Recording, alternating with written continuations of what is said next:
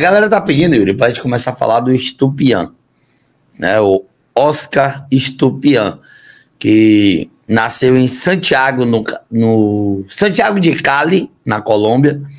Ele que foi revelado pelo Once Caldas, 69 jogos com a camisa do Once Caldas e marcou 19 gols antes de ser negociado com o Vitória de Guimarães de Portugal e em 41 jogos pelo time português, ele fez 13 gols, deu 5 assistências no, na temporada de 19 e 20. Ele foi emprestado para o Barcelona de Guayaquil, 11 jogos, 5 gols. E no Denis Lispor, da Turquia, ele jogou 32 jogos, marcou 12 gols. Onde ele marcou mais gols foi com a camisa do Once Caldas, foram 19 gols com a camisa da, do Once Caldas, retornou para o Vitória de Guimarães em 2021, disputou mais duas temporadas, 57 jogos, aí ele quebrou essa marca dos 19 gols, marcou é, 25 gols, deu quatro assistências, foi negociado aí por Hull City, da Inglaterra, e lá na Inglaterra, 42 jogos, 14 gols, uma assistência, e em outubro de 23 foi emprestado ao Mets. É Mets mesmo? Acho que é. Quem sabe. Alô, Thiago Moraes, em Genebra, na Suíça. É, galera que tem a pronúncia. Diga aí a, a pronúncia. Exato. Você, Sotero, é. meu querido Washington, quem estiver acompanhando, mande aí tá? a pronúncia do, do nome do time, pelo amor de Deus. Viu? Foram seis partidas e não marcou gol na França, Yuri. Esse aí, esses são os números de Oscar Stupian, provavelmente o novo 9 do esquadrão. O que me chama a atenção é ele ser 96 igual a mim. Tem alguma coisa que não tá batendo aí nessa conta. E, uh, imagine. Mas assim, do, do Stupian, uh, pelo pouco que eu vi, vi não, que eu li, que eu não vi nada sobre ele, uh, teve um destaque na temporada 22-23 lá no Hull City, onde ele foi artilheiro do Hull City na segunda divisão, se eu não me engano, marcou, eu tenho aqui algum canto, cadê? Marcou 14 gols. O City terminou em 15 apenas na competição, mas marcou 14 gols na temporada, na segunda divisão inglesa, uh, jogando pelo Hull City. Jogador de força física, não é muito rápido, não é muito de movimentação, mas extremamente brigador, extremamente forte. Tem, tem gol de perna direita, perna esquerda, de cabeça, enfim parece ser aquele 9 clássico, 9-9 mesmo, daquele de definidor de jogada, de brigador, trombador, de que incomoda zagueiro, mas precisamos ver e, e entender quem é Oscar Stupinhan. Curioso, curioso, mas principalmente de como o Rogério vai montar essa equipe, porque o Rogério parece gostar muito de jogar com muita movimentação, até o gol de ontem sai com o Everaldo aberto, fazendo cruzamento depois de um passe do Rian, ele ali do lado esquerdo da grande área, faz o cruzamento para o gol do, do Everton Ribeiro e Everaldo já não é desses atacantes mais móveis, né? Se o Estupian for ainda mais parado do que o Everaldo, quero ver como o Rogério vai montar essa equipe. Mas, contratação aí do 9, pelo visto, encaminhada. Vamos torcer para que chegue aqui, enfim, consiga se entender aí com os jogadores e deslanchar de fazer gol. É, e só um detalhe aqui é o seguinte também, viu, Yuri? Teve aqui um, um, torcedor, deixa eu ver quem foi aqui, que falou que os números. Cadê, rapaz? Cadê? Teve alguém aqui que falou dos números de. De, de quê? De. Aqui, ó. Nenê Papa Capim. Números muito parecidos com os de Everaldo, no caso Evergol.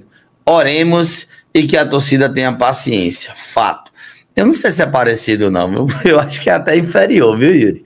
Do que os números de Everaldo. Porque, assim, a melhor temporada dele, ele fez 16 gols. As duas melhores de Everaldo são 19 gols pela Chapecoense e 20 gols pelo Bahia.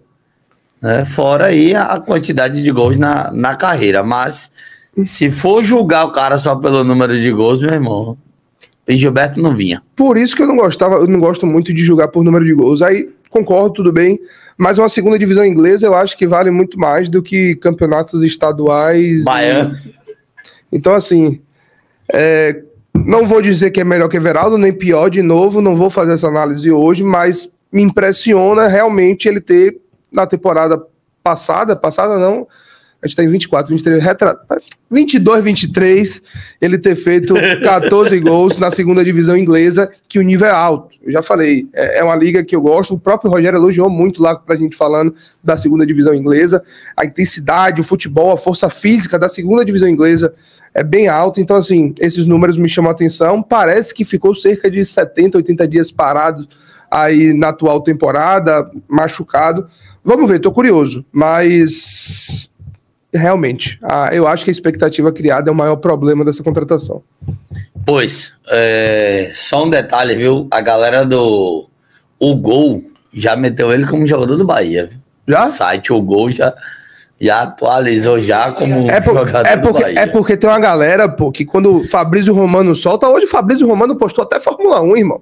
Botou, é, Hamilton saiu da, da, da Mercedes pra Ferrari lá. Falei, É. pô, calma aí. Mas quando o cara de sapato falou que Messi ia jogar no Miami, deram risada e disseram que cara de sapato entendia era de dar murro nos outros. E não aí era tá de bola, Miami. não. Sabia de algo aí, sabia de algo. né?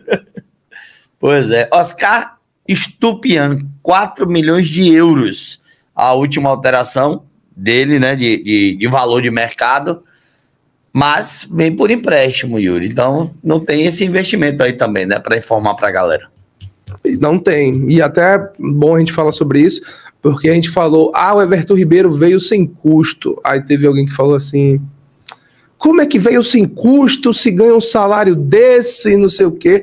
Quando a gente fala veio sem custo, é sem custo de transferência. O Bahia não desembolsou um valor além do salário que ele vai pagar para qualquer jogador no mundo. E ele não, e ele não pediu luva. Exato. No caso do Everton Ribeiro. Então, assim, quando a gente fala que não tem custo, é porque não tem nenhum valor de transferência gasto nesse caso. Pode até ter um valor de empréstimo aí, vamos esperar o Bahia. Às vezes o Bahia desembolsa algum valor de empréstimo, mas não vai ser um- uma contratação, não vai, desembolsar, não vai desembolsar rios de dinheiro por esse jogador. Eu acho que pode ser uma solução aí para primeiro semestre, ver no que dá, e a depender. Faz a mesma coisa que fez a equipe francesa. Oi, não gostei não. Tome aí de volta. Um abraço. Bahia, qualquer coisa, Bahia, sabe o que é que você faz? Diga assim, ó, vamos fazer o seguinte, o empréstimo é de graça e tem uma cláusula aqui de que ele não pode enfrentar vocês. Acabou. Pronto. Rapaz, se botar Belitani na negociação aí, ele consegue botar isso na cabeça dos caras. Ele consegue ali, ó. Algum Não, pô, jeitinho, calma. né? Quando a gente se enfrentar, ele não pode jogar. Se acaba. E a gente vai se enfrentar como? Ah, meu irmão, aí, ó, mistura tudo. Os caras dizem que, que é o mingode colombiano, velho. É mole. velho. Essa torcida do baiano, sei lá, velho. Na moral mesmo. Pra, pra mim é Oscar Ruins. Oscar Ruins. Boa noite, Michel. Agora que eu lembrei de você, velho. só tô aqui reclamando com você só. Tá vendo aí? Tá vendo Aí aí? ele arruma até o microfone hoje, viu? Ah, ele tá ali com o microfone É, ali. rapaz. Tá. Tiraram a censura. Boa noite, meu povo lindo. Como é que vocês estão? Estamos aqui. Agradecer a todo mundo aí, mas é isso. Forte abraço. Tô aqui, viu? Qualquer coisa. Ó, Davi, que às vezes eu acho que Davi tá escondido dentro dos armários, tá ligado?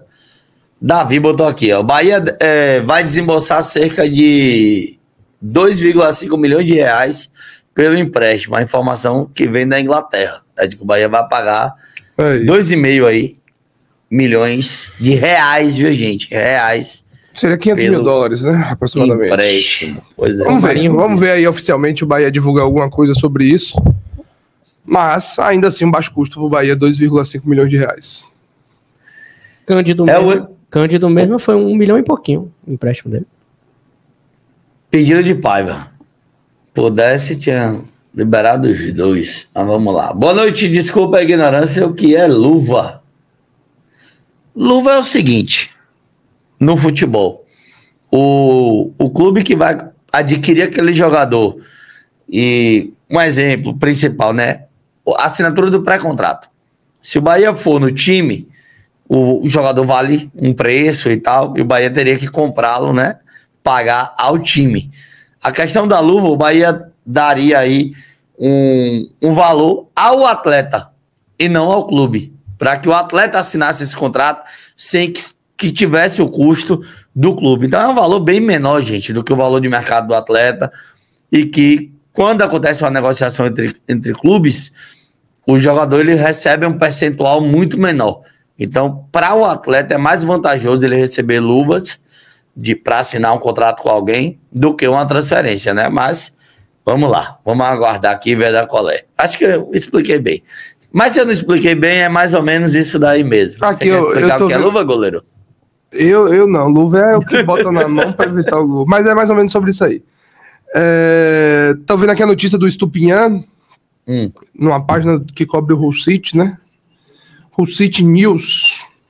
No Orkut. E eles colocam aí que será uma taxa de 500 mil pela transferência de empréstimo, opção de compra em 3 milhões de libras. Seria mais ou menos aí. Libra, a gente sabe que Libra não é um negócio bacana, não. A gente soube na pele, né? Que Libra é um negócio chato, né? Mas 500 mil dólares aí pelo empréstimo, 500 mil, dó- 500 mil libras pelo empréstimo, opção de compra aí em 3 milhões de libras. Pera aí, pô, 500 mil libras? 500 mil libras o empréstimo. Então não é nem dólar, viu, pai? Então no, o, o, É vezes 6, 3 milhões de reais aí. não é 6, não. 6,30? Vai, foi 6,5 quase. Não foi? Não, pô, Libra. Quando a gente Valor. trocou lá as moedas. a gente trocou, 6,27. A gente 6,27. trocou pelo valor de turismo, pô. É por isso que é ó, pelo. Pelo eu vou turismo. perguntar depois pra Santoro ou pra Raul Aguirre. Vem cá na transferência. O valor é o quê? É turismo? é de quê, pelo amor de Imagino Deus? que seja comercial. Comercial, turismo. É, Valnei tá dizendo aqui, ó, 6,27 hoje. É, Hoje. olhei aqui, 6,27. 6,27 aí, vezes 500, no caso, né? Vai dar 3 milhões 135. Oh, é, 3 milhões 135 mil, viu? Ó, é, acho que esse 9 esperado vem na janela de julho. Acho que foi. Como é, rapaz? Tantop. Que fizeram uma aposta nesse primeiro, nesse primeiro momento. Velho, eu acho, inclusive, que os caras não vão investir assim em 9. Né? É, tem- a galera tá cobrando tanto, Yuri, de 9, 9, 9, 9, que criou essa onda de não, vem alguém aí do tamanho de Everaldo e tal, não sei o quê, ou de Everaldo, do tamanho de Everton e tal, e não vai acontecer isso. velho. Inicialmente não vai. Bruce tá perguntando aqui, viu, Yuri? Oi. Informações sobre Everton. Ele Qual? vai desfalcar o Bahia contra o Esporte Canal do Pouco.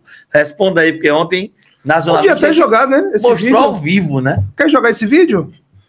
Eu tenho ele salvo aqui, se Você quiser. tem só que- um cortezinho aí? Tem, o dele falando da expectativa do jogo. Não só Nossa. ele fala da expectativa do jogo, que repercutiu muito hoje, inclusive, na Pra, mídia pra lá. sair o, vi- o áudio, Marinho, é melhor você jogar pelo iate aí. Vou mandar no nosso grupo, vou mandar no nosso grupo. É, E- se, eu jogar, se eu jogar no Yard aqui, sai tranquilo pro, Pra gente aqui, pro povo em casa. pro povo em casa. Aí, mandei aí no grupo, já já chega. É, e ele fala sobre essa partida, repercutiu muito essa fala do Everton Ribeiro hoje, é, lá na- pelo lado lá de, de Recife, de Pernambuco, que fica parecendo que ele tá em um clima de revanche, mas eu acho que foi uma fala muito natural, e aí já quero pux, quis, quiseram puxar para um lado de revanche, mas tá aí, já, já a gente coloca na tela ele falando sobre esse jogo, sobre a expectativa, sobre a ansiedade e tal, de uma fonte nova lotada, então não tem isso não, Everton Ribeiro vai jogar tranquilamente aí contra o esporte no domingo, estreia da Copa do Nordeste. É, vou esperar aqui carregar e daqui a pouquinho a gente traz esse vídeo aqui do Everton Ribeiro. Eu até já tinha, antes aqui, Yuri, também a galera que estava acompanhando ao vivo no canal do Puco, eu fui até direto logo. Falei, bem, cá, estão falando que você vai voltar para o Rio. Ele, não. Estamos é, focados aqui e tal. E aí depois ele, ele fala novamente aqui, né, a respeito do, do jogo. Vamos aqui, pronto. Agora sim, vamos aqui mostrar para a galera, para quem está na dúvida aí do que pode acontecer ou não com Everton Ribeiro. É, com Everton Ribeiro aqui, deixa eu ver. É, Foi? aqui. Não, calma, não vai E aparecer. domingo contra o esporte na Fonte Nova. Fatalmente, seu primeiro jogo com mais de 40 mil aqui na Fonte Nova, Fonte Nova cheia, clássico nordestino. Queria que você falasse um pouquinho com essa voz de experiência que você possui. A gente sabe que vai ser um, um jogo muito importante, né? É, estou ansioso para poder ver essa Fonte Nova ainda mais lotada do que a minha estreia. É um jogo que tem um, um gosto especial para a gente. A gente sabe é, do, do, retrospecto né, do último jogo. Então vamos entrar é, focado, nos preparar bem para a gente conseguir esse triunfo logo no primeiro jogo e deixar a nossa torcida feliz, contente, mas sabemos que vai ser um jogo difícil, então temos que estar preparados. Pronto. Aí o, o, Everton Ribeiro, sabemos que vai ser um jogo difícil, temos que estar prepar, preparado e tal. Eu tô falando assim, Yuri, até, eu fui até mais direto na, na pergunta. Falei assim, ó, o boato da galera é que você vai pro Rio e tal. E ele falou que não, que o, o foco é no, no jogo e tal, que não tem, não tem nada a ver isso aí e que tá focado em fazer um grande jogo no domingo. Acho que encerra esse assunto, né, velho? Era meio óbvio. Bem Sério. óbvio. Pelo amor de Deus, Bahia Esporte. Ah, tá. Ele vai se despedir do Flamengo e de uma forma muito justa. Everton Ribeiro é ídolo, ganhou inúmeros títulos lá no Flamengo e merece lá se despedir da torcida e tal, tudo mais. Mas não seria em um Bahia e, e esporte, estreia da Copa do Nordeste, enfim, casa lotada. Deve ficar, não duvido, se ficar para quarta-feira, não sei se o Flamengo joga quarta-feira em casa da semana que vem, não sei, mas deve ficar aí para uma partida mais tranquila que possa poupar o jogador. Lembrando que essa situação foi acordada desde o início entre empresário Everton Ribeiro Bahia. Bahia aceitou essa condição, então a não ser que o Everton Ribeiro fale, não quero mais ir, não. Em algum momento ele deve ir lá dar um tchau. De novo, e não vai jogar, porque eu vi gente falando, ah, e se ele se machucar? Não é para jogar, não, tá, gente? É só para dar um tchau pra torcida, dar aquela volta olímpica no estádio, falar um abraço e tal, levar Totói para rever a galera lá. Enfim, só isso aí. É, e o Tiaguinho tá completando aqui dizendo o seguinte, ó, que o Planeta Futebol acabou de postar que a despedida de Everton melou.